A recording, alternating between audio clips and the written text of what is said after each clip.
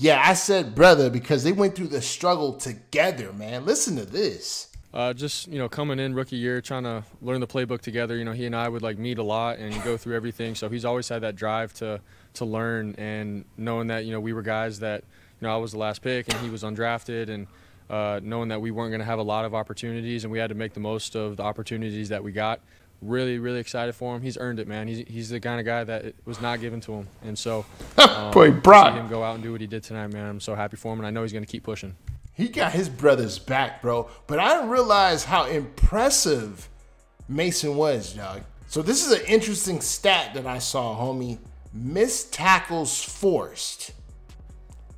He was number one, okay?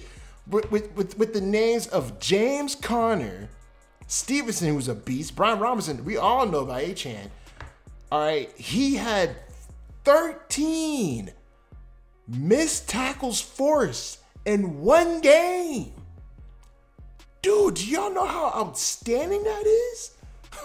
That's what I'm saying. When Brock Purdy gives you some praise, bro, it means something. Because Brock Purdy, we all know he was Mr. Irrelevant. Now look at him. So I want to check out one of his plays, bro. And this one blew my mind. So we gonna check this one out right here, dog. Because this shit was crazy.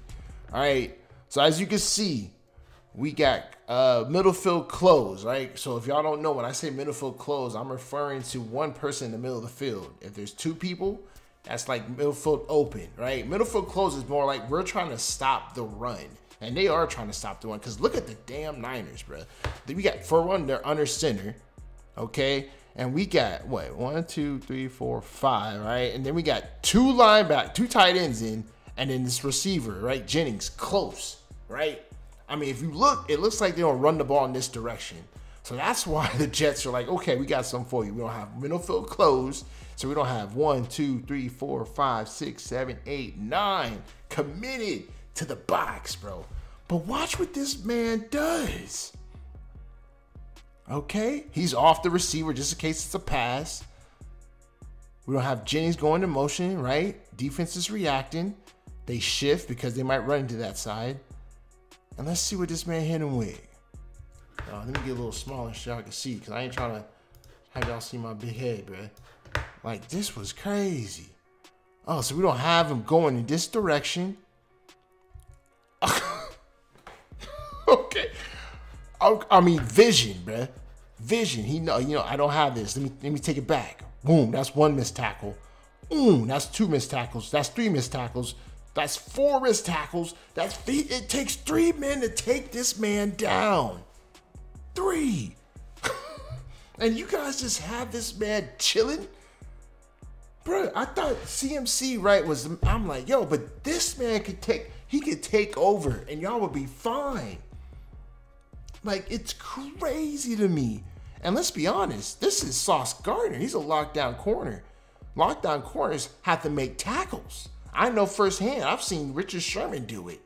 Bruh, he made he made all pro Sauce Gardner look like a little boy.